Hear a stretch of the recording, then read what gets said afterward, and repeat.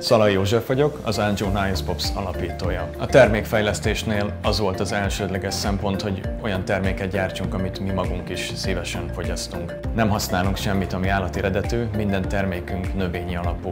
Szerettük volna, hogy mindenki kivehesse a részét az Angiona életérzésből.